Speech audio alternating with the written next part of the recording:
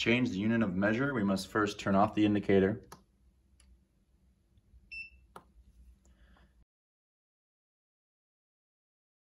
And take a tool to hold down the calibration button in the back of the indicator.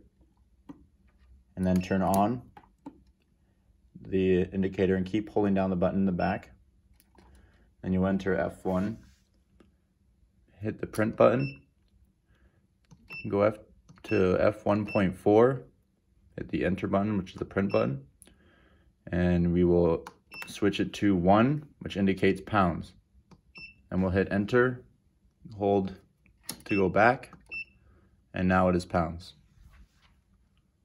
Thanks for taking the time to watch our video today. If you have any questions, please call us at 800 711 2237 or you can email us sales at usameasurements.com. Please comment, like, and subscribe to see more of these videos and follow us on Facebook and Instagram. Thanks, guys.